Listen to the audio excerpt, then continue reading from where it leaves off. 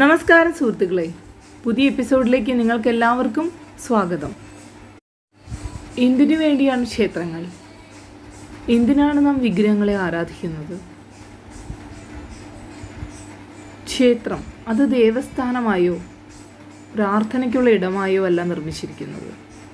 എല്ലാവർക്കും പോയിരുന്ന് അവിടെ നിന്ന് ഉത്ഭവിക്കുന്ന ചൈതന്യം പ്രയോജനപ്പെടുത്താവുന്ന ഒരു ഊർജ കേന്ദ്രമായാണ് ക്ഷേത്രങ്ങൾ നിർമ്മിച്ചിരിക്കുന്നത്.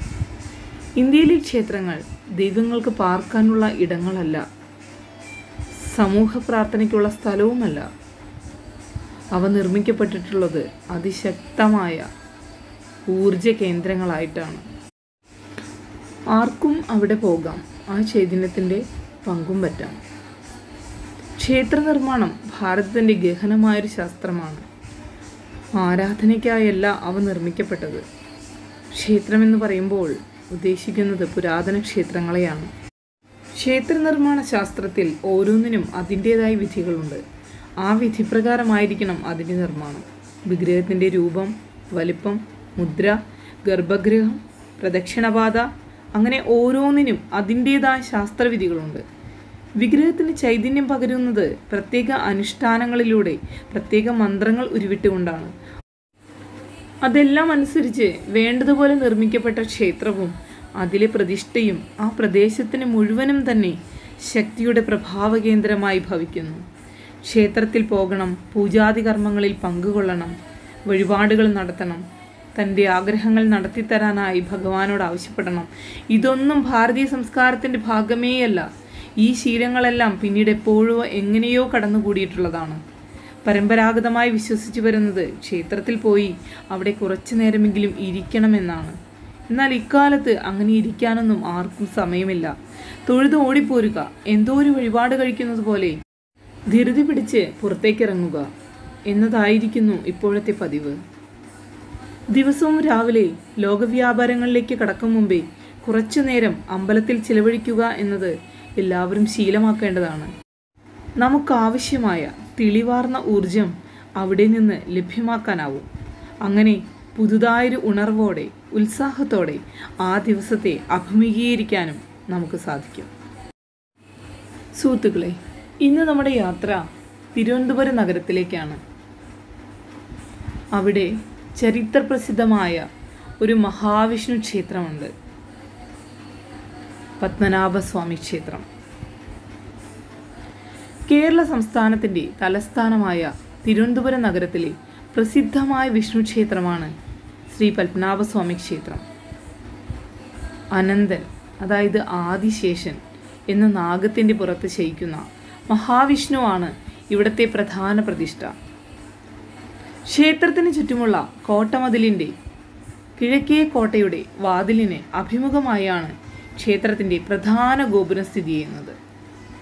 തമിഴ് ശൈലിയിൽ നിർമ്മിച്ച ക്ഷേത്രത്തിന്റെ ഈ പ്രധാന ഗോപുരം തിരുവനന്തപുരം നഗരത്തിന്റെ മുഖമുദ്രകളിലൊന്നാണ്. ശ്രീ പത്മനാഭസ്വാമി തിരുവിതാംകൂർ രാജവംശത്തിന്റെ കുലദൈവമാണ്. വിഷ്ണുഭക്തനായിരുന്ന തിരുവിതാംകൂർ മഹാരാജാവ് അനിഴം തിരുനാൾ മാർത്താണ്ഡവർമ്മ രാജ്യം ഭഗവാന് സമർപ്പിച്ച രേഖകളാണ് തൃപ്പടിദാനം എന്നറിയപ്പെടുന്നത്. ഇതിനെ തുടർന്ന് തിരുവിതാംകൂർ രാജ്യത്തിലെ ഭരണാധികാരികൾ പത്മനാഭദാസന്മാർ എന്നറിയപ്പെടുന്നു. തമിഴ് സാഹിത്യത്തിലെ പ്രശസ്തരായ ആഴുവാർമാർ പാടിപ്പുകഴ്ത്തിയ നൂറ്റെട്ട് ദിവ്യദേശങ്ങളിലൊന്നായ ഈ ക്ഷേത്രത്തിൽ അനന്തപത്മനാഭസ്വാമിയെ കൂടാതെ തെക്കേടത്ത് നരസിംഹമൂർത്തി തിരുവമ്പാടി ശ്രീകൃഷ്ണൻ എന്നിവർക്കും തുല്യ പ്രാധാന്യത്തോടെ പ്രതിഷ്ഠകളുണ്ട്. ഈ ക്ഷേത്രം ലോകത്തെ ഏറ്റവും സമ്പന്നമായ ക്ഷേത്രങ്ങളിലൊന്നാണ്. കേരള ദ്രാവിഡ ശൈലികളുടെ സങ്കരമാണ് ഈ ക്ഷേത്ര നിർമ്മിതി ഇന്ത്യയിലെ നൂറ്റെട്ട് വൈഷ്ണവ ആരാധനാ കേന്ദ്രങ്ങളിൽ ഒന്നായി ഇത് കണക്കാക്കപ്പെടുന്നു. നൂറ്റെട്ട് ദിവ്യദേശങ്ങൾ എന്നാണ് ഈ ആരാധനാ കേന്ദ്രങ്ങൾ അറിയപ്പെട്ടത്. അനന്തനുമീതെ യോഗനിദ്രയിൽ വിശ്രമിക്കുന്ന നിലയിലുള്ള മഹാവിഷ്ണുവിന്റെ വിഗ്രഹമാണ് ഇവിടുത്തെ പ്രധാന ആരാധനാമൂർത്തി. നൂറ്റാണ്ടുകൾ പഴക്കമുള്ള ശ്രീ പത്മനാഭസ്വാമി ക്ഷേത്രം. ബ്രഹ്മപുരാണം വരാഹപുരാണം സ്കന്ദപുരാണം പത്മപുരാണം വായുപുരാണം ഭാഗവത പുരാണം എന്നിങ്ങനെ നിരവധി ഹിന്ദു ഗ്രന്ഥങ്ങളിൽ നിർവചിക്കപ്പെട്ടിട്ടുണ്ട്. മഹാഭാരതത്തിലും ഈ ക്ഷേത്രം പരാമർശിക്കപ്പെടുന്നു. മതിലകം രേഖകളിൽ പരാമർശിക്കുന്ന ഐതിഹ്യപ്രകാരം ശ്രീ പത്മനാഭസ്വാമി ക്ഷേത്രം തുളു സന്യാസിയായ ദിവാകരമുനിയാൽ കലിയുഗ ആരംഭത്തിൽ തൊള്ളായിരങ്ങളിൽ പ്രതിഷ്ഠിതമായതാണ്. ദിവാകരമുനി വിഷ്ണുപദം പ്രാപിക്കുന്നതിനായി കഠിന തപസ് അനുഷ്ഠിക്കുകയും തപസ്സിൽ സന്തുഷ്ടനായ മഹാവിഷ്ണു ബാലരൂപത്തിൽ പ്രത്യക്ഷപ്പെടുകയും ചെയ്തു. ആ ശിശുവിനെ കണ്ട് മുനി സന്തുഷ്ടനായി. തന്റെ പൂജാവേളയിൽ ആ ദിവ്യകുമാരന്റെ ദർശനം തനിക്ക് നിത്യവും ലഭ്യമാകണമെന്ന് മുനി പ്രാർത്ഥിച്ചു. തന്നോട് അപ്രിയമായി പ്രവർത്തിക്കുന്നതുവരെ താൻ ഉണ്ടാകുമെന്ന് ബാലൻ സമ്മതിക്കുകയും ചെയ്തു. പലപ്പോഴും മുനിയുടെ മുന്നിൽ ബാലൻ വികൃതി പ്രകടിപ്പിക്കുമായിരുന്നു. ക്രമേണ അത് അനിയന്ത്രിതമായി. മുനി ധ്യാനതിരനായിരിക്കവേ മഹാവിഷ്ണുവിന്റെ പ്രതീകമായി പൂജിച്ചിരുന്ന സാളഗ്രാമം ബാലൻ വായ്ക്കുള്ളിലാക്കി. സാളഗ്രാമം അശുദ്ധമാക്കിയതിൽ രോഷാകുലനായ മുനി ഇടത് കൈകൊണ്ട് ബാലനെ തള്ളിമാറ്റി. കുണ്ഠിതപ്പെട്ട ബാലൻ ഇനി എന്നെ കാണണമെങ്കിൽ അനന്തകാട്ടിൽ വരണം എന്നുരുവിട്ട് അപ്രത്യക്ഷനായി എന്ന ഐതിഹ്യം ബാലന്റെ വേർപിരിയലിൽ ദുഃഖിതനായ മുനി ബാലനെ കാണാൻ അനന്തൻകാട് തേടി യാത്ര തുടർന്നു. ദിവാകരമുനിയല്ല വില്ലമംഗലമായിരുന്നു അനന്തങ്കാട്ടിൽ വന്നതെന്നും ദർശനം അദ്ദേഹത്തിനാണ് ലഭിച്ചതെന്നുമുള്ള മറ്റൊരു ഐതിഹ്യം കൂടി പ്രചാരത്തിലുണ്ട്. ഒരിക്കൽ ഗുരുവായൂരപ്പന് വില്ലമംഗലം സ്വാമിയാർ ശംഖാഭിഷേകം നടത്തുകയായിരുന്നു. അപ്പോൾ ഭഗവാൻ അന്ന് അദ്ദേഹത്തിന്റെ കണ്ണുകൾ പൊത്തിപ്പിടിച്ചു. ദേഷ്യം വന്ന വില്ലുമംഗലം ഇതിനെതിരെ പറഞ്ഞപ്പോൾ ഭഗവാൻ അനന്തൻകാട്ടിലേക്ക് പോയി. അനന്തൻകാട് എവിടെയാണെന്നറിയാത്ത വില്ലുമംഗലം അവിടം തപ്പി നടന്നു. അതിനിടയിൽ തൃപ്രയാറിലെത്തിയപ്പോൾ ഭഗവാൻ അത് സുജീന്ദ്രം സ്ഥാണുമലയ പെരുമാളുടെ ജടയാണെന്ന് അദ്ദേഹത്തിനോട് പറഞ്ഞു. ദിവാകരമുനിയാണോ വില്ലുമംഗലമാണോ എന്ന് വിഭിന്ന അഭിപ്രായം ഉണ്ടെങ്കിലും ഒരു പുലിയ സ്ത്രീയുടെ സാന്നിധ്യം രണ്ട് കഥകളിലും പറയുന്നുണ്ട്. മുനിയുടെ അനന്തൻകാട് തേടിയുള്ള യാത്രക്കിടയിലെ വിശ്രമവേളയിൽ ഒരു പുലേ സ്ത്രീ തന്റെ വികൃതിയായ കുഞ്ഞിനെ ശാസിക്കുന്നത് കാണാൻ ഇടവന്നു.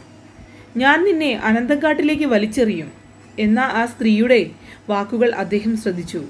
മുനി പുലേ സ്ത്രീയെയും കൂട്ടി അനന്തൻകാട്ടിലേക്ക് പോവുകയും അവിടെ അനന്തശയനത്തിൽ സാക്ഷാൽ പത്മനാഭസ്വാമി പള്ളികൊള്ളുന്ന ദൃശ്യം ദർശനം ലഭിക്കുകയും ചെയ്തു. മുനി പിന്നീട് ഭഗവത് ദർശനത്തിനായി അവിടെ തപസ് അനുഷ്ഠിച്ചു. അധികം വൈകിയില്ല. അവിടെയുണ്ടായിരുന്ന വൻ വൃക്ഷം കടപുഴകി വീഴുകയും മഹാവിഷ്ണു അനന്തശായിയായി മുനിക്ക് മുന്നിൽ പ്രത്യക്ഷപ്പെടുകയും ചെയ്തു.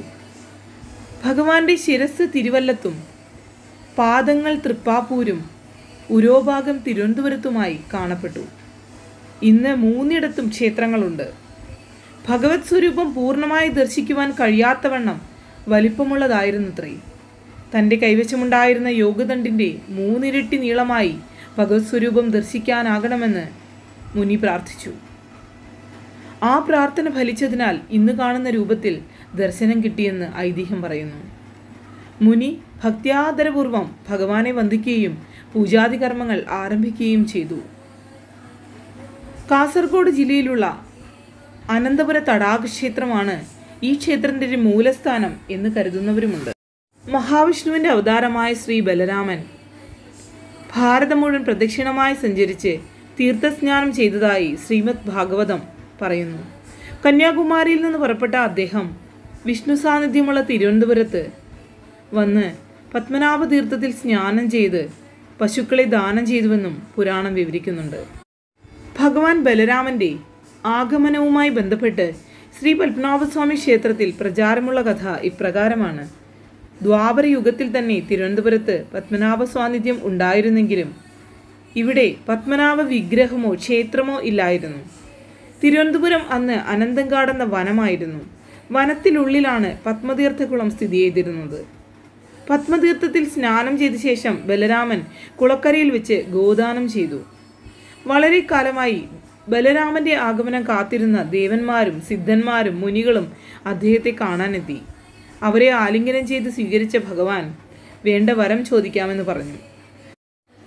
സാമ്രാജ്യമോ സ്വർഗമോ എന്നല്ല സാക്ഷാൽ വൈകുണ്ഠലോകം പോലും വേണ്ടെന്ന് പറഞ്ഞ ആ മഹാഭാഗവതന്മാർ.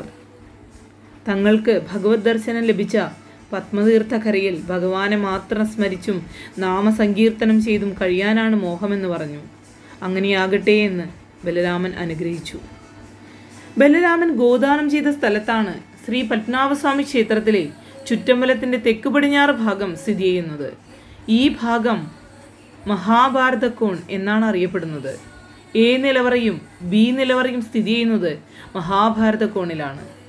അവതാര പുരുഷൻ ഗോദാനം ചെയ്ത സ്ഥാനത്ത് ഐശ്വര്യം കളിയാടും എന്നതുകൊണ്ട് തന്നെ ആയിരിക്കണം ക്ഷേത്ര സമ്പ്രദായത്തിന്റെ സിംഹഭാഗവും സൂക്ഷിക്കുന്ന എ നിലവറ മഹാഭാരതക്കോണിൽ സ്ഥാപിക്കപ്പെട്ടത്.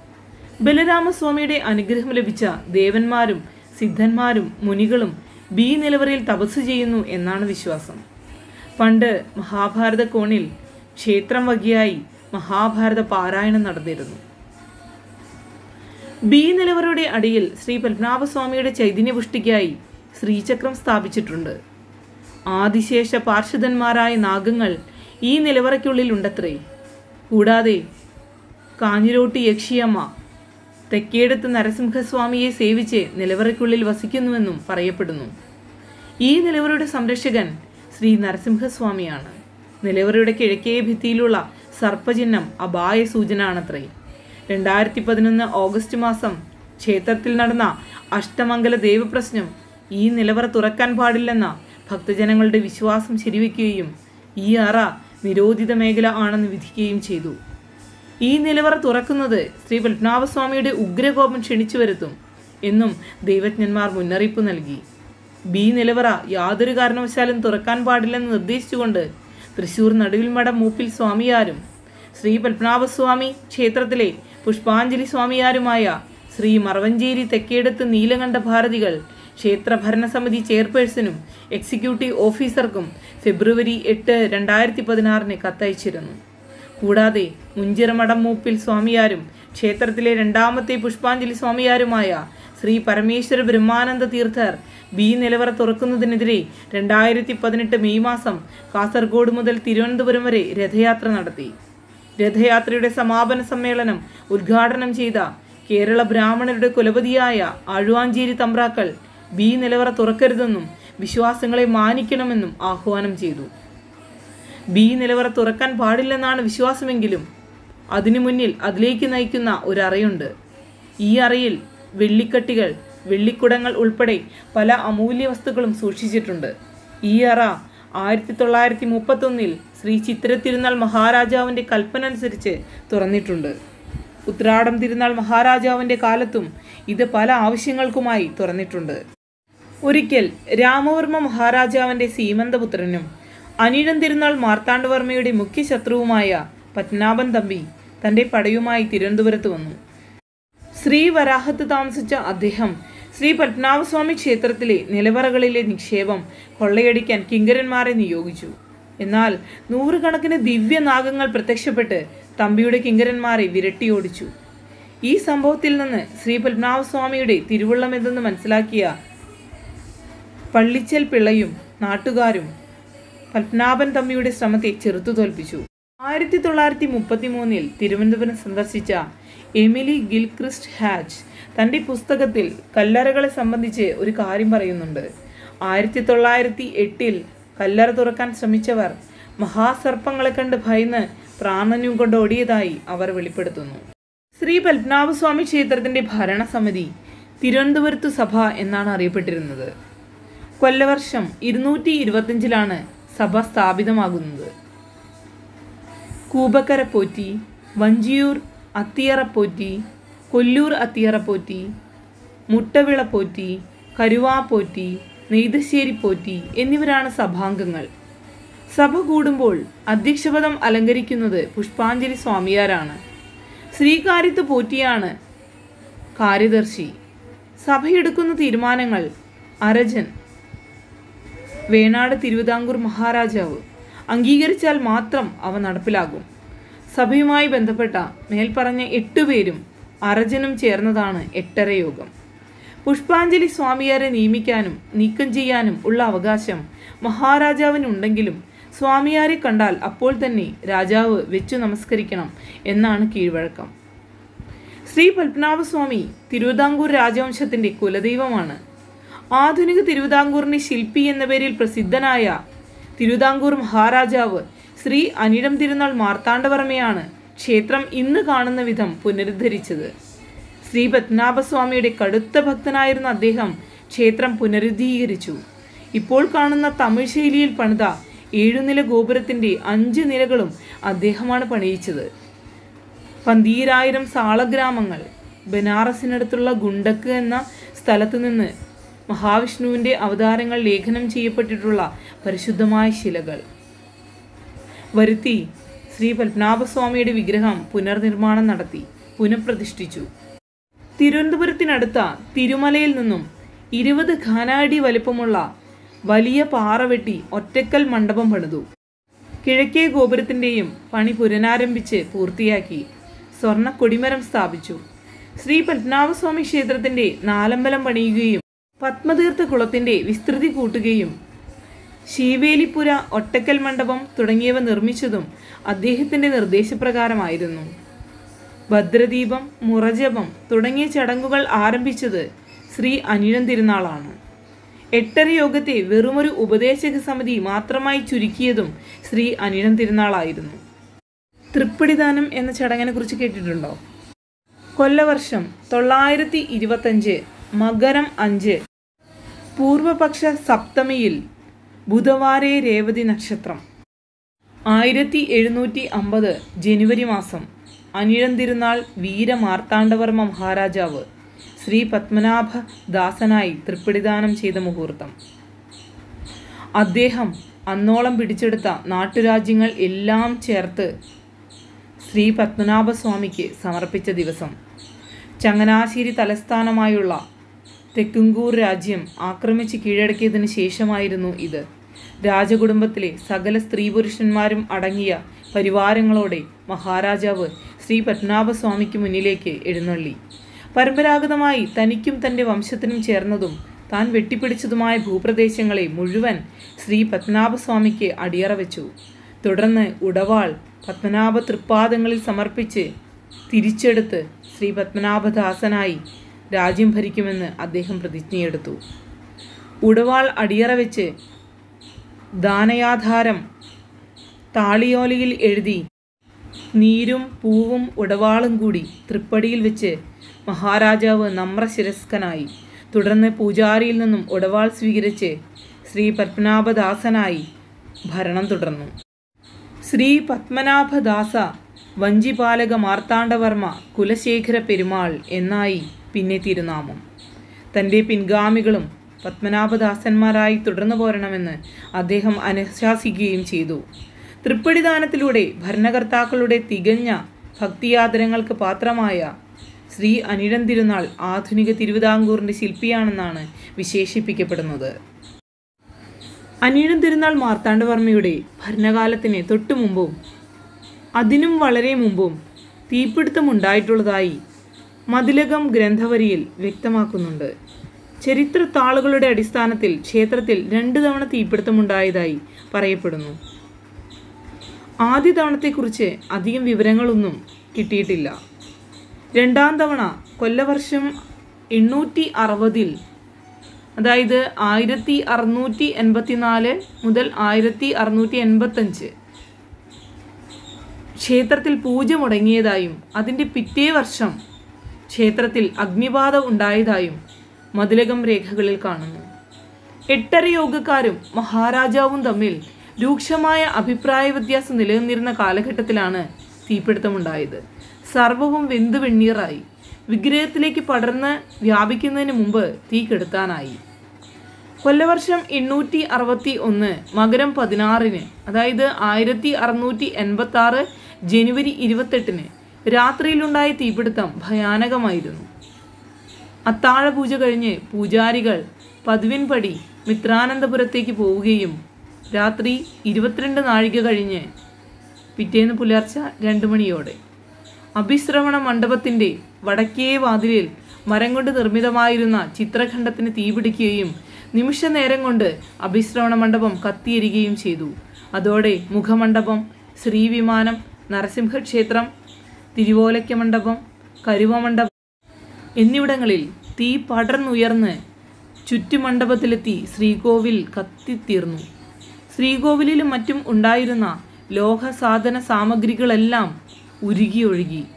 കരിങ്കല്ലുകൾ പൊട്ടിച്ചിതറി. പിറ്റേന്ന് ഉച്ചവരെ തീ കത്തിത്തുടർന്നു. വിമാനത്തിന്റെ മേൽക്കൂര ശ്രീ പത്മനാഭ ബിംബത്തിൽ വീണ് കത്തിയെരിഞ്ഞു. ജനക്കൂട്ടം ഓടി നടന്ന് തീകെടുത്താൻ ജീവൻ പോലും പണയം വെച്ച് പരിശ്രമിച്ചു. എന്നാൽ ശ്രീ പത്മനാഭ ബിംബത്തിന് പരിക്കുകളൊന്നും പറ്റിയില്ല. ഇടത് കൈയിലെ മൂന്ന് വിരലുകളും ഇടത് കാലിലെ എല്ലാ വിരലുകളും മുറിഞ്ഞു. ഉടൻ തന്നെ വിഗ്രഹം പുതുക്കി പണിയുകയും ചെയ്തു. കൊല്ലവർഷം ആയിരത്തി ഒരുന്നൂറ്റി എട്ട് അതായത് ആയിരത്തി തൊള്ളായിരത്തി മുപ്പത്തി ആറ് തുലാമാസത്തിൽ ശ്രീ ചിത്രത്തിരുന്നാൾ ബാലരാമവർമ്മ രാജ്യം ഭരിക്കുന്ന വേളയിൽ പത്മനാഭസ്വാമി ക്ഷേത്രത്തിൽ അഗ്നിബാധ ഉണ്ടായി. അടുത്ത മാസം തന്നെ മഹാരാജാവിന്റെ നിർദ്ദേശപ്രകാരം ക്ഷേത്രത്തിൽ പുനരുദ്ധാരണം നടത്തുകയുമുണ്ടായി. എണ്ണൂറ്റി അറുപത്തൊന്നിലെ തീപിടുത്തത്തിന് ശേഷമാണ് മാർത്താണ്ഡവർമ്മ മഹാരാജാവിന്റെ കാലത്ത് ക്ഷേത്രം പുനർനിർമ്മാണ പ്രവർത്തനങ്ങൾക്ക് തുടക്കം കുറിച്ചത്. അക്കാലത്ത് തന്നെയാണ് ക്ഷേത്രഗോപുരത്തിന്റെ അഞ്ച് നിലകളുടെ പണിയും പൂർത്തിയാക്കിയത്. തുടർന്നുള്ള നിലകളായ ആറ് ഏഴ് ധർമ്മരാജാവിന്റെ കാലത്താണ് പൂർത്തിയാക്കിയത്. ദിവാനായിരുന്ന രാജാ കേശവദാസിന്റെ ആജ്ഞാശക്തി ഗോപുര നിർമ്മാണത്തിന് ചൈതന്യവും ശക്തിയും നൽകിയതായി ചരിത്രത്താളുകൾ സാക്ഷ്യം പറയുന്നു. കൊല്ലവർഷം ആയിരത്തി നാലാം ആണ്ട് മുതൽ ആയിരത്തി ഇരുപത്തിരണ്ടാം ആണ്ട് വരെ അസാധാരണമായ സാമർഥ്യത്തോടും നീതിയോടും കൂടി തിരുവിതാംകൂർ ഭരിച്ചിരുന്ന സ്വാതി തിരുനാൾ മഹാരാജാവിന്റെ കാലത്തും ശ്രീ ചിത്തിര തിരുനാൾ ബാലരാമവർമ്മയുടെ കാലത്തും ക്ഷേത്രത്തിൽ ധാരാളം നിർമ്മാണ പരിപാടികൾ നടത്തിയിരുന്നു. നൂറ്റെട്ട് ദിവ്യദേശങ്ങളിലൊന്നായ ഈ ക്ഷേത്രത്തിന്റെ ദർശനം കിഴക്കോട്ടാണ്. കിഴക്കുഭാഗത്തുള്ള വലിയ ഗോപുരം തമിഴ് ശൈലിയിലും മറ്റു ഗോപുരങ്ങൾ കേരളീയ ശൈലിയിലും നിർമ്മിച്ചിരിക്കുന്നു. വടക്ക് കിഴക്ക് ഭാഗത്ത് പത്മതീർത്ഥകുളമാണ് ധാരാളം ദാരുശില്പങ്ങളും ചുവർ ചിത്രങ്ങളുമുണ്ട്. കൊടിമരമുണ്ടെങ്കിലും ബലിക്കൽപുരയില്ല ശ്രീകോവിൽ ദീർഘചതുരാകൃതിയിലാണ്. അനന്തശയന രൂപത്തിന് അനുയോജ്യമായതുകൊണ്ടാണത്. കടുശർക്കര യോഗ കൂട്ടുകൊണ്ടും പന്ത്രണ്ടായിരത്തി എട്ട് സാളഗ്രാമങ്ങൾ കൊണ്ട് നിർമ്മിച്ച പതിനെട്ടടി നീളമുള്ള ഭഗവാന്റെ വിഗ്രഹം കിഴക്കോട്ട് ദർശനമായി ശ്രീകോവിലിൽ വാഴുന്നു. രണ്ടരികത്തും ഭൂമിദേവിയും ലക്ഷ്മീദേവിയുമുണ്ട്. തഞ്ചാവൂർ മാതൃകയിൽ നൂറടിയോളം ഉയരത്തിൽ ഏഴ് നിലകളിലായി ഏഴ് കിളിവാതിലുകളോടും മുകളിൽ ഏഴ് സ്വർണ താഴികക്കുടങ്ങളോടും കൂടി കൃഷ്ണശില ഉപയോഗിച്ചാണ് ക്ഷേത്രത്തിലെ കിഴക്കേ ഗോപുരം നിർമ്മിച്ചിട്ടുള്ളത്. മറ്റു ഗോപുരങ്ങൾ സാധാരണ കാണുന്ന കേരളീയ ശൈലിയിൽ രണ്ട് നിലകളോടുകൂടി നിർമ്മിച്ചിരിക്കുന്നു. വളരെ വിസ്തൃതിയേറിയതാണ് ചുറ്റമ്പലം. ഒത്ത നടുക്കായി ശ്രീകോവിലുമുണ്ട്.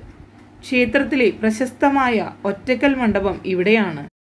പുറത്ത് വിളക്കുമാടങ്ങൾ കാണാം. തെക്ക് കിഴക്കായി തിടപ്പള്ളിയുമുണ്ട്. ദീർഘചതുരാകൃതിയിൽ മൂന്ന് വാതിലുകളോട് കൂടിയതാണ് ഇവിടത്തെ ശ്രീകോവിൽ. പതിനെട്ടടി നീളത്തിൽ നിർമ്മിച്ച ഭഗവാന്റെ വിഗ്രഹം കിഴക്കോട്ട് ദർശനമായി പ്രതിഷ്ഠിക്കപ്പെട്ടിരിക്കുന്നു. അനന്തന്റെ മുകളിൽ യോഗനിദ്രയിൽ പള്ളികൊള്ളുന്ന മഹാവിഷ്ണുവാണ് ഇവിടത്തെ പ്രതിഷ്ഠ. പതിനെട്ടടി നീളം വരുന്ന വിഗ്രഹം പത്മനാഭസ്വാമിയുടെ വിഗ്രഹം കടുശർക്കര യോഗക്കൂട്ടുകൊണ്ട് ഉണ്ടാക്കിയതായതിനാൽ അഭിഷേകം ചെയ്താൽ അലിഞ്ഞു പോകും. അതിനാൽ ഭഗവാന്റെ മറ്റൊരു വിഗ്രഹം ഇവിടെ സ്ഥാപിച്ചിട്ടുണ്ട്. ഈ വിഗ്രഹത്തിലാണ് അഭിഷേകം നടത്തുന്നത്. ശ്രീ ഭഗവത് രൂപം മൂന്ന് ഭാഗങ്ങളായി മാത്രമേ ദർശിക്കാനാകൂ. വലത് കൈ ചിന്മുദ്രയോടുകൂടി അനന്തതൽപ്പത്തിന് സമീപം തൂക്കിയിട്ടിരിക്കുന്നു. അതിന് താഴെ ശിവലിംഗ പ്രതിഷ്ഠയുണ്ട്. ഭഗവാൻ ശ്രീ മഹാദേവനെ നിത്യവും പൂജിക്കുന്നതായി സങ്കല്പം. അനന്തന്റെ പത്തി ദേവന്റെ മൂർധാവ് മൂടിയിരിക്കുന്നു. ശ്രീ പത്മനാഭസ്വാമിയുടെ നാഭിയിൽ നിന്നും പുറപ്പെടുന്ന താമരയിൽ ചതുർമുഖനായ ബ്രഹ്മാവിന്റെ രൂപം കാണാം. ഒരേ ശ്രീകോവിലിൽ ത്രിമൂർത്തികളുടെ സാന്നിധ്യം ഈ ദേവാലയത്തിന്റെ പ്രത്യേകതയാണ്. അതിന് പുറകിലായി ഋഷിവര്യന്മാരുടെ കല്ലിൽ വാർത്ത രൂപങ്ങളുണ്ട്. ഭഗവാന്റെ മാറിടത്തിനെതിരെയായി ശ്രീ ഭഗവതിയെയും അല്പം അകലെ ഭൂമിദേവിയെയും പ്രതിഷ്ഠിച്ചിട്ടുണ്ട്. അനന്തന്റെ മുകളിൽ പള്ളി കൊള്ളുന്ന തേവർ കുടികൊള്ളുന്ന ദേശത്തിന് തിരുവനന്തപുരം എന്ന പേരും ലഭിച്ചു. പന്തീരായിരത്തി എട്ട് സാളഗ്രാമങ്ങൾ അടുക്കി വെച്ചിട്ടുള്ള രൂപകൽപ്പനയ്ക്ക് ശേഷം ഏതാണ്ട് അഷ്ടബന്ധത്തിന് തുല്യമായ കടും ശർക്കര കൂട്ടുണ്ടാക്കി അത് പുറമേ പൂശി ശരീരതുല്യമാക്കി തീർത്ത് അതിൽ ജീവാവാഹനം ചെയ്തതാണ് ഇവിടത്തെ കടും ശർക്കര യോഗ വിഗ്രഹം കടും ശർക്കര യോഗമായതിനാൽ മൂലബിംബത്തിൽ അഭിഷേകം പതിവില്ല. ഇതിനു പകരം ഒറ്റക്കൽ മണ്ഡപത്തിൽ പ്രതിഷ്ഠിച്ചിട്ടുള്ള അലങ്കാര വിഗ്രഹത്തിലാണ് നിത്യേന അഭിഷേകം നടത്താറുള്ളത്. ദിവാകരമുനി അല്ലെങ്കിൽ വില്ലുമംഗലം സ്വാമിയാർ ഭഗവാനെ ദർശിച്ചത് ഇരിപ്പമര ചുവട്ടിലാണ് എന്ന ഐതിഹ്യത്തെ സാധൂകരിക്കും വിധത്തിൽ ഇവിടുത്തെ ആദ്യ വിഗ്രഹം ഇരപ്പമരത്തിന്റെ തടി കൊണ്ടായിരുന്നു. പതിനെട്ടാം നൂറ്റാണ്ടിലുണ്ടായ ആ വലിയ അഗ്നിബാധയിൽ അത് കത്തിപ്പോയി. അതിനെ തുടർന്നാണ് ഇപ്പോഴുള്ള വിഗ്രഹം പ്രതിഷ്ഠിച്ചത്. നേപ്പാളിലുള്ള ഗണ്ഡകി നദിയുടെ തീരങ്ങളിൽ കണ്ടുവരുന്ന വിശേഷാകൃതിയിലുള്ള കല്ലുകളാണ് സാളഗ്രാമങ്ങൾ. ഇവ വിഷ്ണു ഭഗവാന്റെ പല രൂപങ്ങളെയും പ്രതിനിധീകരിക്കുന്നതായി കരുതപ്പെടുന്നു. പല നിറത്തിലും ഇവയുണ്ടെങ്കിലും കറുപ്പാണ് പ്രധാന നിറം. ഇന്ത്യയിലെ പല ഹൈന്ദവ ഭവനങ്ങളിലും ആശ്രമങ്ങളിലും സാളഗ്രാമങ്ങൾ പൂജിക്കപ്പെടുന്നു. തമിഴ്നാട്ടിലുള്ള പല ക്ഷേത്രങ്ങളോടും കിടപിടിക്കുന്ന ശില്പചാരുത ഭക്തരെ ആകർഷിക്കുന്ന മറ്റൊരു ഘടകമാണ്. തമിഴ് ശൈലിയിൽ നിർമ്മിച്ച ഏഴ് നിലകളോടുകൂടിയ കിഴക്കേ ഗോപുരം ക്ഷേത്രത്തിന്റെ എന്നല്ല തിരുവനന്തപുരം നഗരത്തിന്റെ തന്നെ ഒരു മുഖമുദ്രയാണ്. ധാരാളം കരിങ്കൽ ശില്പങ്ങൾ ക്ഷേത്രഗോപുരത്തിൽ നിറഞ്ഞു നിൽക്കുന്നു. ആദ്യത്തെ ശിലയിൽ വിഷ്ണു ഭഗവാന്റെ ദശാവതാരങ്ങളായ മത്സ്യം കൂർമ്മം വരാഹം നരസിംഹം വാമനൻ പരശുരാമൻ ശ്രീരാമൻ ബലരാമൻ ശ്രീകൃഷ്ണൻ കൽക്കി എന്നിവരുടെ ശില്പങ്ങൾ കാണാം. ക്ഷേത്രത്തിന്റെ ഏറ്റവും വലിയ പ്രത്യേകതകൾ ഇവിടുത്തെ ശീവേലിപ്പുരയും ഒറ്റക്കൽ മണ്ഡപവുമാണ്. കിഴക്ക് ഭാഗത്തുള്ള ശീവേലിപ്പുരയ്ക്ക് ഏകദേശം നാനൂറടി നീളവും ഇരുന്നൂറടി വീതിയും വരും. തിരുവനന്തപുരത്തിന് കിഴക്കുള്ള തിരുമല എന്ന സ്ഥലത്തു നിന്നും പൂജപ്പുര കരമന ജഗതി വഴി വളരെ ബുദ്ധിമുട്ടിയാണ് ഇതിനുള്ള കല്ലുകൾ കൊണ്ടുവന്നത്. നാലായിരം ആശാരിമാരും ആറായിരം തൊഴിലാളികളും നൂറ് ആനകളും ചേർന്ന് ആറു മാസം കൊണ്ടാണ് പണി പൂർത്തിയാക്കിയത്. ശീവേലിപ്പുരിയിൽ മുന്നൂറ്റി അറുപത്തഞ്ച് കരിങ്കൽ തൂണുകളുണ്ട്. ഓരോ തൂണും ഒറ്റക്കൽ കൊണ്ട് ഉണ്ടാക്കിയതാണ്. പ്രമുഖ നിർമ്മാണ വിദഗ്ധൻ അനന്തപത്മനാഭൻ മുത്താചാരിയാണ് ശീവേലിപ്പുര നിർമ്മിക്കുന്നതിന് നേതൃത്വം നൽകിയത്. ശ്രീകോവിലിന് മുൻപിലുള്ള ഒറ്റക്കൽ മണ്ഡപം പേര് സൂചിപ്പിക്കുന്നത് പോലെ ഒരു കൂറ്റൻ കല്ലുകൊണ്ടാണ് ഉണ്ടാക്കിയിട്ടുള്ളത്. ഇരുപതടി നീളവും രണ്ടരയടി വീതിയും വരും ഈ മണ്ഡപത്തിന്. കൂടാതെ നാലമ്പലത്തിന് പുറത്തായി ഒരു മണ്ഡപമുണ്ട്. കുലശേഖര മണ്ഡപം എന്നാണ് അതിന്റെ പേര്. ഇതിന് ആയിരം കാൽ മണ്ഡപം എന്നും സപ്തസ്വര മണ്ഡപം എന്നും പേരുകളുണ്ട്. ആയിരം കാലുകൾ അതായത് തൂണുകൾ താങ്ങി നിർത്തുന്നതുകൊണ്ടാണ് ആയിരം കാൽ മണ്ഡപം എന്ന് പേര് വന്നത്. ഇതിന്റെ നാല് ഭാഗത്തുമുള്ള തൂണുകൾ തൊട്ടാൽ ഭാരതീയ സംഗീതത്തിലെ സപ്തസ്വരങ്ങളായ ഷഡ്ജം ഋഷഭം ഗാന്ധാരം മധ്യമം പഞ്ചമം ധൈവതം നിഷാദം എന്നിവ കേൾക്കാൻ കഴിയും. അതിനാലാണ് സപ്തസ്വര മണ്ഡപം എന്ന് പേര് വന്നത്. ഇതിന്റെ തൂണുകൾ സ്വർണം പൊതിഞ്ഞ് സൂക്ഷിച്ചു വരുന്നു. ഒറ്റക്കൽ മണ്ഡപത്തിന് മുമ്പിലുള്ള അഭിശ്രവണ മണ്ഡപത്തിൽ ക്ഷേത്ര ഉത്സവങ്ങളോടനുബന്ധിച്ചുള്ള പ്രത്യേക പൂജകൾ അരങ്ങേറുന്നു. കൂടാതെ നാമജപത്തിനും ഈ മണ്ഡപം ഉപയോഗിക്കാറുണ്ട്. ധാരാളം ദാരുശില്പങ്ങളും ശിലാരൂപങ്ങളും ചുവർ ചിത്രങ്ങളും ക്ഷേത്രത്തെ ആകർഷണീയമാക്കുന്നു. ശ്രീകോവിലിന് പുറകിലുള്ള ഭഗവാന്റെ ചുവർ ചിത്രം കേരളത്തിലെ ഏറ്റവും വലിയ ചുവർ ചിത്രങ്ങളിൽ ഒന്നാണ് പതിനെട്ടടി നീളമുള്ള ഈ ചിത്രം വരച്ചത് ചാലിയിൽ കാൾഹസ്തി എന്നു പേരുള്ള ഒരു തമിഴ് ബ്രാഹ്മണനാണ്. ഏതാണ്ട് മൂന്ന് ഹെക്ടറോളം വരുന്ന അതിവിശാലമായ മതിലകത്താണ് ശ്രീ പത്മനാഭസ്വാമി ക്ഷേത്രം സ്ഥിതി ചെയ്യുന്നത്. ക്ഷേത്രത്തിലേക്ക് കടക്കാൻ ധാരാളം കരിങ്കൽപ്പടികളുണ്ട്. പത്മനാഭസ്വാമിയെ കൂടാതെ നരസിംഹമൂർത്തി തിരുവമ്പാടി ശ്രീകൃഷ്ണസ്വാമി എന്നിവരും പ്രധാന മൂർത്തികളാണ് മൂവർക്കും തുല്യ പ്രാധാന്യമാണ്. പ്രധാന ശ്രീകോവിലിന് തെക്കുഭാഗത്താണ് നരസിംഹമൂർത്തിയുടെ ശ്രീകോവിൽ. യോഗ നരസിംഹ ഭാവത്തിലാണ് പ്രതിഷ്ഠ. കിഴക്കോട്ട് ദർശനമായ പഞ്ചലോഹ വിഗ്രഹമാണ്. മഹാവിഷ്ണു ഭഗവാന്റെ നാലാമത്തെ അവതാരമായ നരസിംഹമൂർത്തി ഉഗ്രമൂർത്തി ആയതിനാൽ നട തുറക്കുന്ന സമയത്ത് രാമായണം വായിച്ച് ഭഗവാനെ ശാന്തനാക്കുന്നു. ശ്രീ പത്മനാഭസ്വാമി ക്ഷേത്രത്തിനകത്ത് തന്നെയാണെങ്കിലും ഒരു സ്വതന്ത്ര ക്ഷേത്രമാണ് തിരുവമ്പാടി ശ്രീകൃഷ്ണസ്വാമി ക്ഷേത്രം. ഇപ്പോഴത്തെ പത്മനാഭസ്വാമി ക്ഷേത്രത്തേക്കാൾ പഴക്കം ഈ ക്ഷേത്രത്തിനുണ്ടെന്ന് പറയപ്പെടുന്നു. പാർത്ഥസാരഥി ഭാവത്തിലുള്ള ശ്രീകൃഷ്ണ ഭഗവാനാണ് ഇവിടത്തെ പ്രതിഷ്ഠ. ഇവിടെ ഈ പ്രതിഷ്ഠ വന്നതിന്റെ പിന്നിൽ ഒരു ഐതിഹ്യമുണ്ട്. അതിങ്ങനെയാണ്. പണ്ട് ഉത്തര ഭാരതത്തിൽ നിന്ന് പല വൃഷ്ണിവംശ ക്ഷത്രിയർ ബലരാമന്റെയും കൃഷ്ണന്റെയും വിഗ്രഹങ്ങളുമായി തിരുവനന്തപുരത്ത് എത്തുകയും അവർ ബലരാമ വിഗ്രഹം ഇവിടത്തെ എട്ടര യോഗത്തിൽ ഒരാളായ നെയ്തശ്ശേരി പോറ്റിക്ക് നൽകുകയും നെയ്തശ്ശേരി മറ്റൊരു യോഗക്കാരനായ കൂബക്കര പോറ്റിയെ ആചാര്യനായി വരിക്കുകയും ഇന്നത്തെ കന്യാകുമാരി ജില്ലയിലെ ബുധപുരം എന്ന പ്രദേശത്ത് ഒരു ക്ഷേത്രം നിർമ്മിക്കുകയും ചെയ്തു. തുടർന്ന് കൂബക്കര പോറ്റി ഭക്തദാസൻ എന്നുകൂടി പേരുള്ള ബലരാമസ്വാമിയുടെ പ്രതിഷ്ഠയും കലശവും കഴിച്ചു. വൃഷ്ണികൾ പാർത്ഥസാരഥി ഭാവത്തിലുള്ള കൃഷ്ണവിഗ്രഹം വേണാട്ടു രാജാവായ ഉദയ മാർത്താണ്ഡവർമ്മയ്ക്ക് നൽകി. രാജാവ് പത്മനാഭസ്വാമി ക്ഷേത്രത്തിൽ തിരുവമ്പാടി ക്ഷേത്രം നിർമ്മിക്കുകയും കൃഷ്ണപ്രതിഷ്ഠ കഴിപ്പിക്കുകയും ചെയ്തു. വേണാട്ടിൽ താമസമാക്കിയ ഈ വൃഷ്ണികൾ കൃഷ്ണൻ വകക്കാർ എന്നറിയപ്പെടുന്നു. സ്വന്തമായി നമസ്കാര മണ്ഡപവും കൊടിമരവും ബലിക്കല്ലും തിരുവമ്പാടിക്കുണ്ട്.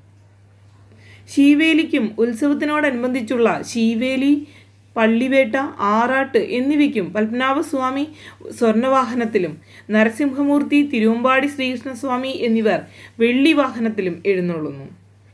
ക്ഷേത്രത്തിൽ രണ്ട് കൊടിമരങ്ങളുണ്ട്. പത്മനാഭസ്വാമിയുടെ നടയിൽ സ്വർണ കൊടിമരവും തിരുവമ്പാടി ശ്രീകൃഷ്ണസ്വാമിയുടെ നടയിൽ വെള്ളിക്കൊടിമരവുമാണ് ഉള്ളത്. രണ്ട് ദേവന്മാരും വിഷ്ണു പ്രതിഷ്ഠയായതിനാൽ ഗരുഡനെ ശിരസിലേറ്റുന്നതാണ് രണ്ട് കൊടിമരങ്ങളും. ക്ഷേത്രത്തിൽ മീനം തുലാം എന്നീ മാസങ്ങളിൽ കെങ്കേമമായി ഉത്സവം നടക്കുന്നു. തുലാമാസത്തിൽ അത്തം കൊടിയേറി തിരുവോണം ആറാട്ടായും മീനമാസത്തിൽ രോഹിണി കൊടിയേറി അത്തം ആറാട്ടായുമാണ് ഉത്സവം. മുഖ്യമൂർത്തികളെ സിംഹം അനന്തൻ ഗരുഡൻ തുടങ്ങി വിവിധ വാഹനങ്ങളിൽ എഴുന്നള്ളിക്കുന്നു. രണ്ട് കൊടിമരങ്ങളിലും ഈ അവസരത്തിൽ കൊടിയുമുണ്ട്. ഭഗവാന്റെ നിർമാല്യമൂർത്തിയായ വിഷുക്സേനൻ നാലമ്പലത്തിനകത്ത് വടക്കുഭാഗത്ത് തെക്കോട്ട് ദർശനമായി വാഴുന്നു. ഇരിക്കുന്ന രൂപത്തിലാണ് പ്രതിഷ്ഠ. കൂടാതെ വലിയമ്പലത്തിനോട് ചേർന്ന് വേദവ്യാസൻ അശ്വത്ഥാമാവ് എന്നിവരുടെ പ്രതിഷ്ഠകളുമുണ്ട്. ലോകത്ത് മറ്റൊരിടത്തും അശ്വത്ഥാമാവിന് പ്രതിഷ്ഠിച്ചിട്ടില്ല എന്നത് ശ്രദ്ധേയമാണ്.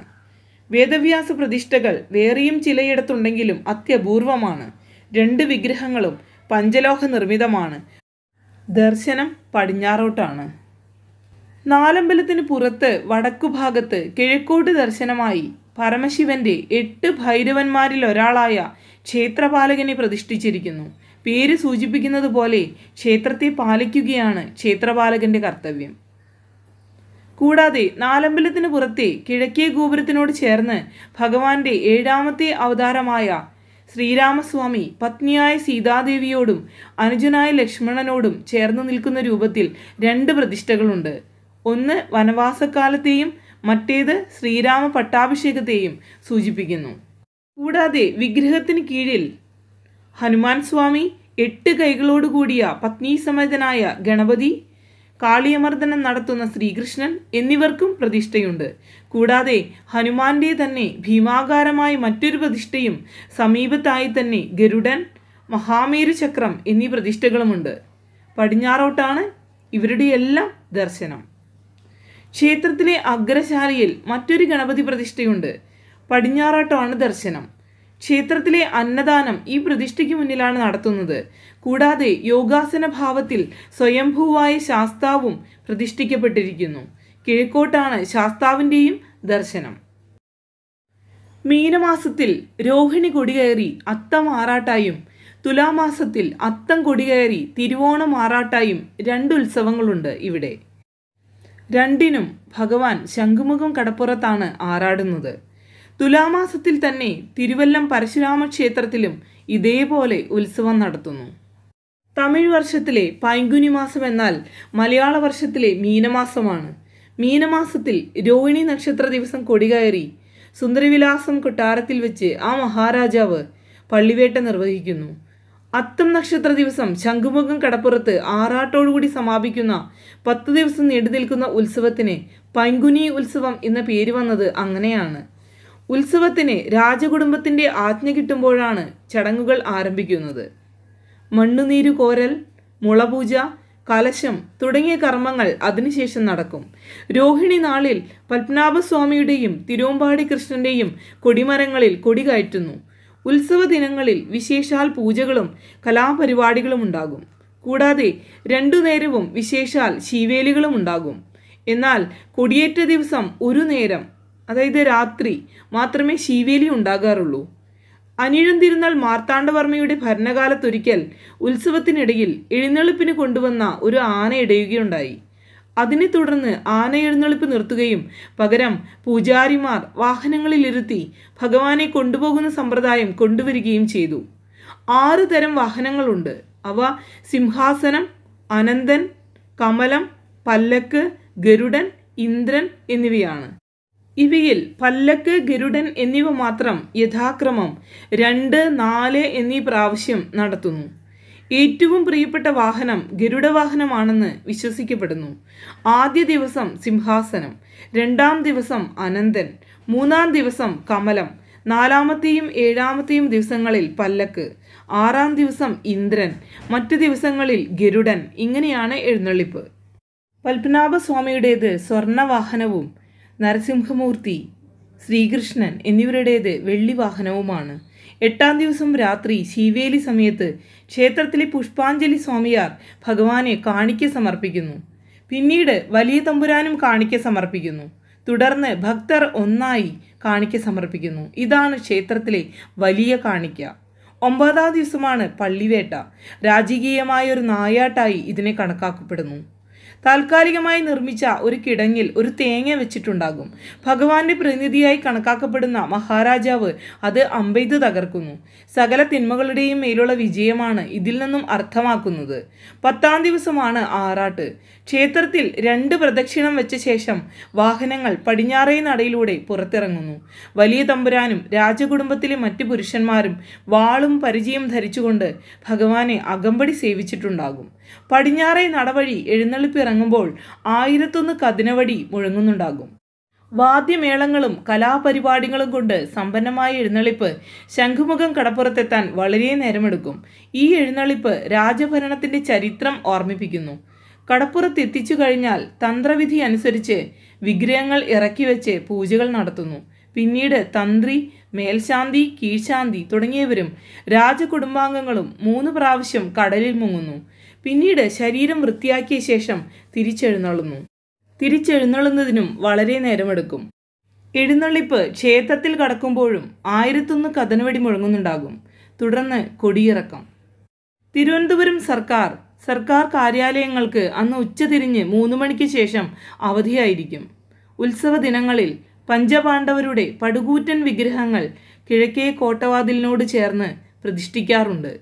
പടിഞ്ഞാട്ട് ദർശനമായി. ആണ് പ്രതിഷ്ഠകൾ. തമിഴ് വർഷത്തിലെ അൽപ്പശി അഥവാ ഐപ്പശി എന്നാൽ മലയാള വർഷത്തിലെ തുലാമാസമാണ്. മീനമാസത്തിലെ ഉത്സവത്തിനുള്ള എല്ലാ ചടങ്ങുകളും തുലാമാസത്തിലെ ഉത്സവത്തിനും ആവർത്തിക്കുന്നു. നക്ഷത്രത്തിന്റെ കാര്യത്തിൽ മാത്രമാണ് വ്യത്യാസം. തുലാമാസത്തിൽ അത്തം കൊടികയറി തിരുവോണം ആറാട്ടായാണ് ഉത്സവം. ശ്രീ പത്മനാഭസ്വാമി ക്ഷേത്രത്തിൽ ആറു വർഷം കൂടുമ്പോൾ നടക്കുന്ന മുറജപം ഏറെ പ്രത്യേകതയുള്ള ഒരു ചടങ്ങാണ്. അമ്പത്താറ് ദിവസത്തെ മഹാമഹമാണ് മുറജപം. എട്ട് ദിവസം ഓരോ മുറ. ഈ ക്രമത്തിൽ അമ്പത്താറ് ദിവസത്തെ ഏഴായി വിഭജിച്ച് ജപകർമ്മങ്ങൾ നടത്തുന്നു. ഉത്തരായന സംക്രമണ ദിവസം അതായത് മകരശീവേലി. കാലം കൂടത്തക്കവണ്ണം വൃശ്ചികമാസം ആദ്യ ആഴ്ചയിൽ മുറജപത്തിന് തുടക്കം കുറിക്കും. കൊല്ലവർഷം തൊള്ളായിരത്തി പത്തൊമ്പതിൽ ആദ്യ മുറജപം നടന്നു. അതേ വർഷം ധനുവേൽ ഭദ്രദീപവും തൃപ്പിടിദാനത്തിന് ശേഷം തുലാപുരുഷദാനവും നടന്നതായി രേഖയുണ്ട്. ആയിരത്തി ഒരുന്നൂറ്റി ഇരുപത്തിമൂന്ന് വരെ മുറജപം ആർഭാടത്തോടെയാണ് ആഘോഷിച്ചിരുന്നത്. ഋഗ്വേദം യജുർവേദം സാമവേദം എന്നിവയാണ് പ്രധാനമായി മുറജപത്തിന് ഉരുവിടാറുള്ളത്. ശ്രീ പത്മനാഭന് മുറജപം ആറു വർഷം കൂടുമ്പോഴായിരുന്നുവെങ്കിൽ വൈക്കത്തപ്പനും തിരുവാഴപ്പിള്ളിയിലപ്പനും പന്ത്രണ്ട് വർഷം കൂടുമ്പോൾ വടക്കുപുറത്ത് പാട്ടും മുടിയെഴുപ്പ് എഴുന്നള്ളത്തും നടത്തുന്നു. ഈ മൂന്ന് മഹാമഹങ്ങളും തിരുവിതാംകൂർ രാജ്യത്തെ അന്നത്തെ പ്രധാന ഹൈന്ദവ ആഘോഷങ്ങളായിരുന്നു മുറജപത്തിന്റെ ഗുരുസ്ഥാനീയർ ആഴ്വാഞ്ചേരി തമ്പ്രാക്കളാണ്. ചിങ്ങമാസത്തിലെ കറുത്തപക്ഷത്തിലെ അഷ്ടമി നാളിൽ ശ്രീകൃഷ്ണ ഭഗവാന്റെ ജന്മദിനം ആഘോഷിക്കുന്നു. അന്നേ ദിവസം ക്ഷേത്രത്തിൽ ഉച്ചതിരിഞ്ഞ് രണ്ടു മണിക്ക് തന്നെ നട തുറക്കുന്നു. തുടർന്ന് രണ്ടര മണിക്ക് തിരുവമ്പാടി ക്ഷേത്രത്തിൽ പാലഭിഷേകം നടത്തുന്നു. ഈ ദിവസം വലിയൊരു മരത്തൊട്ടിൽ അഭിശ്രവണ മണ്ഡപത്തിൽ വയ്ക്കുന്നു അതിൽ ധാരാളം ശ്രീകൃഷ്ണ വിഗ്രഹങ്ങളും കാണാം. കുട്ടികളില്ലാത്ത ദമ്പതിമാർ ഈ സമയത്ത് ഇവിടെ വന്ന് തൊഴുതാൽ അവർക്ക് കുട്ടികളുണ്ടാകുമെന്ന് വിശ്വസിക്കപ്പെടുന്നു. കേരളത്തിലെ ഏറ്റവും പ്രധാനപ്പെട്ട രണ്ട് ഉത്സവങ്ങളിലൊന്നാണ് മേടമാസത്തിലെ വിഷു. പണ്ടുകാലത്ത് വിളവിറക്കലിന്റെ ഉത്സവമായിരുന്നു വിഷു. ഇന്ന് കാലമേറെ മാറിയിട്ടും ആഘോഷങ്ങൾക്ക് കുറവില്ല. കേരളത്തിലെ എല്ലാ ക്ഷേത്രങ്ങളിലും വീടുകളിലും വിഷുക്കണിയും പടക്കം പൊട്ടിക്കലും ഉണ്ടാകും. പത്മനാഭസ്വാമി ക്ഷേത്രത്തിൽ എല്ലാ പ്രതിഷ്ഠകൾക്കും വിഷുക്കണി ദർശനമുണ്ട്. അന്ന് ക്ഷേത്രനട പതിവിലും ഒരു മണിക്കൂർ നേരത്തെ തുറക്കുന്നു. ചിങ്ങമാസത്തിലെ വെളുത്തപക്ഷത്തിലെ ചതുർത്ഥിയാണ് വിനായക ചതുർത്ഥി. ഗണപതിയുടെ ജന്മദിനമായി ഇത് ആഘോഷിക്കുന്നു. ശ്രീരാമക്ഷേത്രത്തിലെയും അഗ്രശാലയിലെയും ഗണപതി പ്രതിഷ്ഠകൾക്ക് പ്രത്യേക പൂജകൾ അന്നുണ്ടാകും അഗ്രശാല ഗണപതിക്ക് അന്ന് ചിറപ്പുണ്ടാകും. വലിയ തമ്പുരാൻ ഈ ദിവസം മാത്രമാണ് അഗ്രശാലയിൽ ദർശനം നടത്തുന്നത്. കേരളത്തിലെ ഏറ്റവും പ്രധാനപ്പെട്ട രണ്ട് ഉത്സവങ്ങളിൽ ഒന്നാണ് ചിങ്ങമാസത്തിലെ തിരുവോണം. പണ്ടുകാലത്ത് വിളവെടുപ്പിന്റെ ഉത്സവമായിരുന്നു ഓണം. ഇന്ന് കാലമേറെ മാറിയിട്ടും ആഘോഷങ്ങൾക്ക് കുറവില്ല. കേരളത്തിലെ എല്ലാ ക്ഷേത്രങ്ങളിലും വീടുകളിലും അത്തം മുതൽ തിരുവോണം വരെ പത്ത് ദിവസം പൂക്കളവും അവസാനത്തെ രണ്ട് ദിവസം ഗംഭീരൻ സന്ധ്യയുമുണ്ടാകും. പത്മനാഭസ്വാമി ക്ഷേത്രത്തിൽ ഭഗവാന്റെ തിരുനാൾ എന്ന സങ്കല്പത്തിലാണ് ആഘോഷം. അന്നേ ദിവസം ഓണവില്ലേ എന്ന പേരിൽ ചില പ്രത്യേകതരം വില്ലുകൾ ഭഗവാന് സമർപ്പിക്കുന്നു.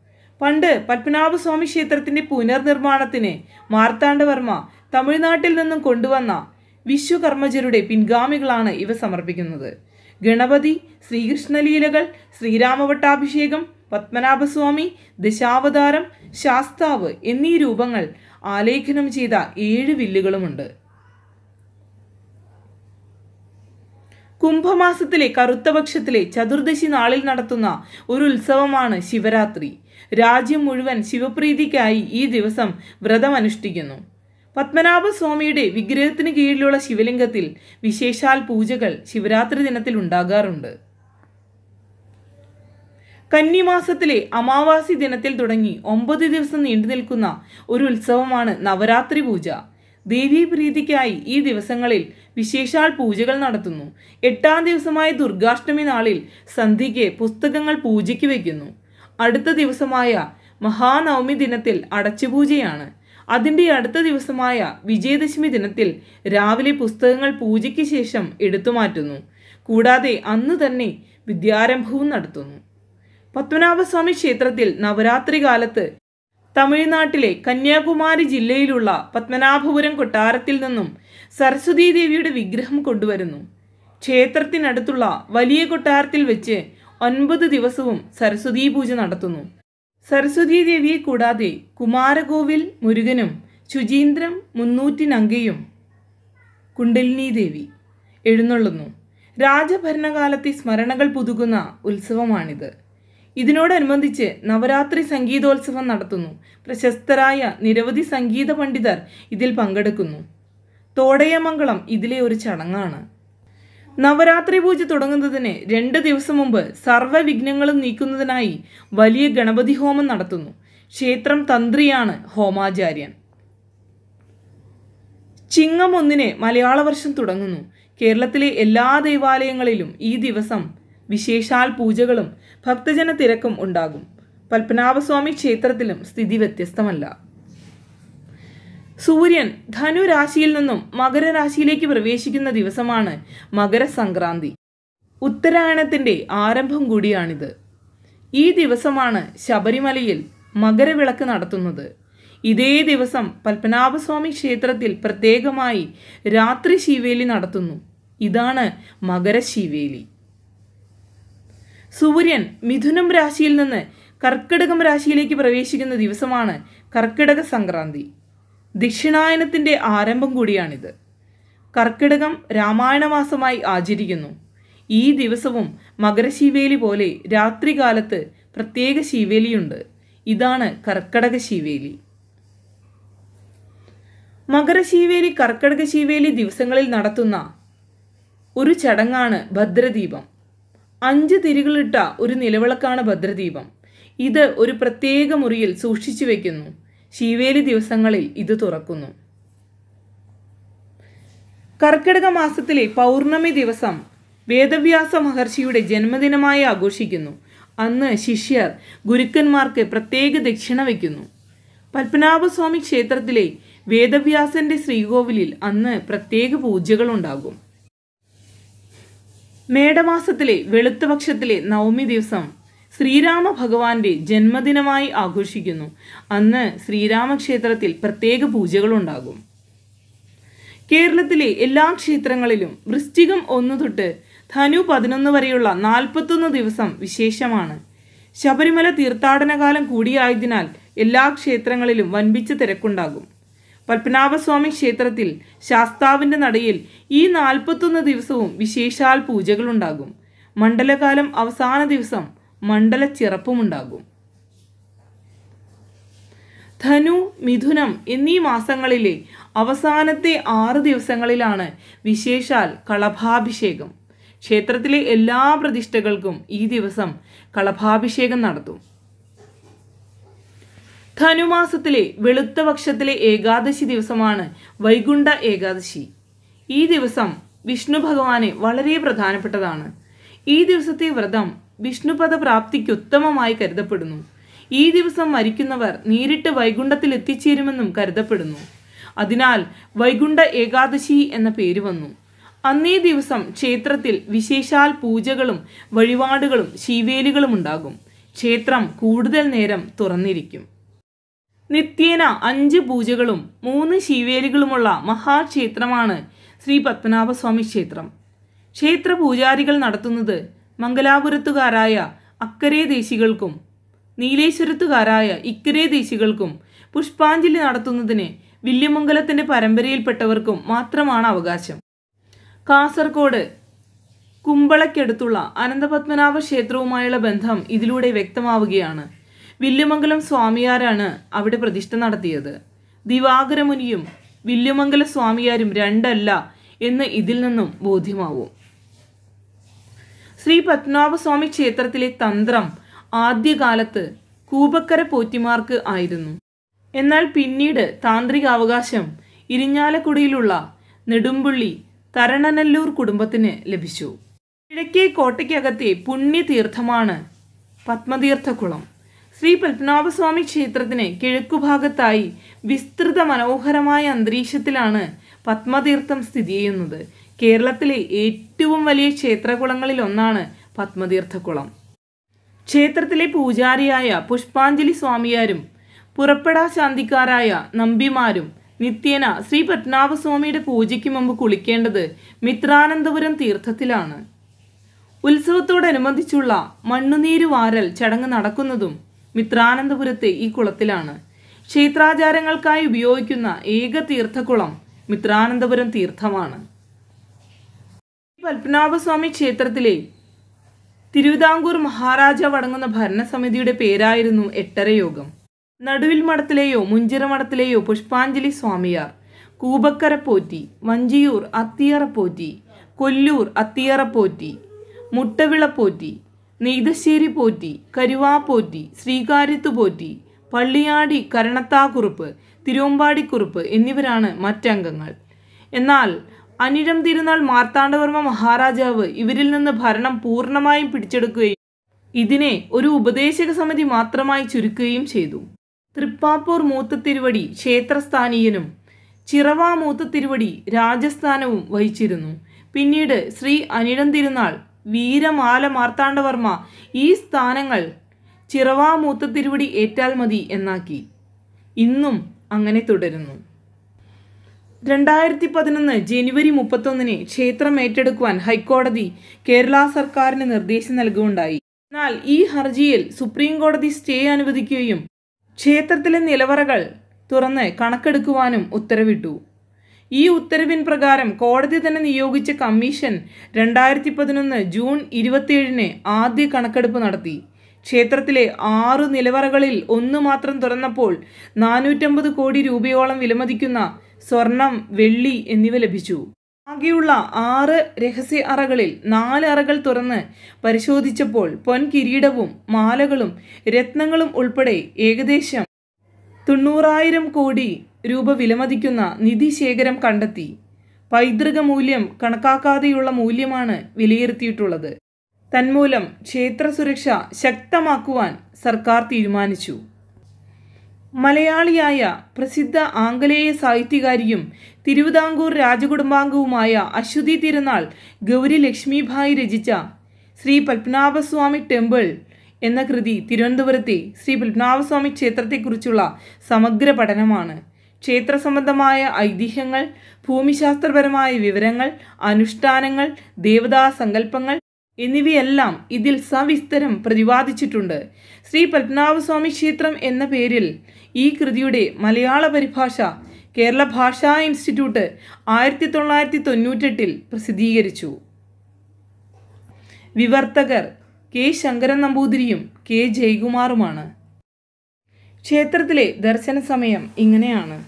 രാവിലെ മൂന്നര മുതൽ നാല് മുക്കാൽ വരെ നിർമാലി ദർശനമാണ്.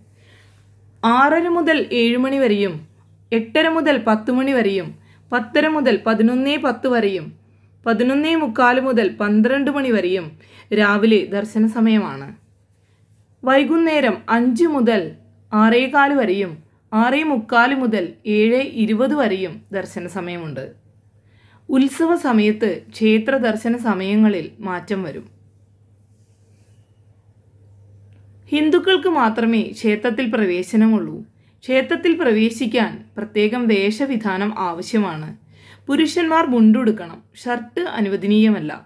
രണ്ടാം മുണ്ടുണ്ടെങ്കിൽ അത് അരയിൽ കെട്ടണം. സ്ത്രീകൾക്ക് സാരിയും മുണ്ടും നേരിയതും സെറ്റുമുണ്ട് എന്നിവ അനുവദനീയമാണ്. പാവാടയും ബ്ലൗസും ഹാഫ് സാരിയും അനുവദിക്കും. ക്ഷേത്ര നടയിൽ തന്നെ മുണ്ടുകൾ വാടകയ്ക്ക് കിട്ടും. ഇപ്പോൾ പുരുഷന്മാർക്കും ചുരിദാർ ധരിച്ച സ്ത്രീകൾക്കും പാന്റിന് മുകളിൽ മുണ്ടെടുത്ത് പ്രവേശനം അനുവദിക്കുന്നതാണ്. തിരുവനന്തപുരം നഗരത്തിന്റെ ഒത്ത മധ്യത്തിലാണ് ക്ഷേത്രം സ്ഥിതി ചെയ്യുന്നത്. അടുത്തുള്ള റെയിൽവേ സ്റ്റേഷൻ തിരുവനന്തപുരമാണ്. ഒരു കിലോമീറ്റർ ദൂരമുണ്ട്. വിമാനത്താവളം തിരുവനന്തപുരം അന്താരാഷ്ട്ര വിമാനത്താവളമാണ്. ആറ് കിലോമീറ്റർ ദൂരമാണ് ഉള്ളത്. സുഹൃത്തുക്കളെ അതിപുരാതനവും അതിപ്രശസ്തവുമായ നമ്മുടെ തലസ്ഥാന നഗരിയിൽ തന്നെ സ്ഥിതി ചെയ്യുന്ന ശ്രീ പത്മനാഭസ്വാമി ക്ഷേത്രത്തെക്കുറിച്ച് അറിഞ്ഞില്ലേ? നമ്മളിൽ പലരും ശ്രീ പത്മനാഭസ്വാമി ക്ഷേത്രം സന്ദർശിച്ചവരായിരിക്കും. എന്നിരുന്നാലും പത്മനാഭസ്വാമി ക്ഷേത്രം വീണ്ടും സന്ദർശിക്കുവാനും അവിടെ ശ്രീ പത്മനാഭസ്വാമിയുടെ അനുഗ്രഹം ലഭിക്കുന്നതിനും മറ്റ് ദേവന്മാരുടെയും ഉപദേവന്മാരുടെയും എല്ലാം അനുഗ്രഹം സിദ്ധിക്കുന്നതിനുമുള്ള എല്ലാ ഭാഗ്യങ്ങളും നമുക്കേവർക്കും ഉണ്ടാകട്ടെ എന്ന് പ്രാർത്ഥിക്കുന്നു.